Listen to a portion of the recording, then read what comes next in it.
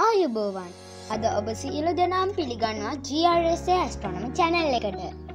ඔයාල මේ චැනල් එක තාම සබස්ක්‍රයිබ් කරන්න නැත්තම් දැම්ම සබස්ක්‍රයිබ් කරන්න. අද අපි කතා කරන්න යන්නේ තාරකා වර්ගී කරණය කරන්නේ කෙසේද කියලා. අහස නිරීක්ෂණය කටයුතු දියුණුවීමත් සමගම හඳුනාගත් තාරකා වඩාත් පිළිවෙටකට සකස් කිරීමට විද්‍යාඥයට අවශ්‍ය විය.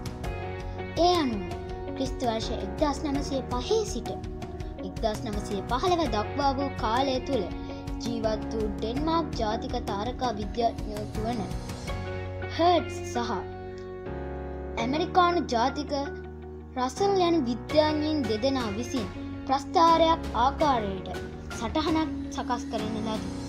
මෙම සටහන හර්ඩ්ස් ප්‍රං රසල් හෙවත් HR ඩයිග්‍රම් යනුවෙන්නම් කරන ලදී.